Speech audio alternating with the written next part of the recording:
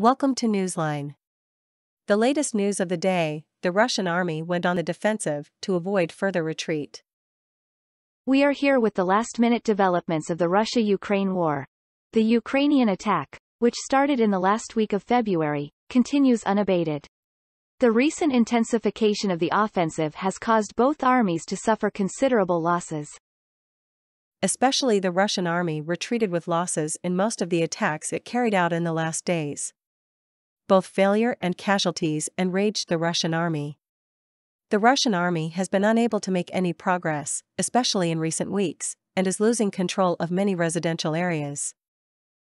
According to a breaking news today, the Russian army went on the defensive in order not to lose control of more settlements.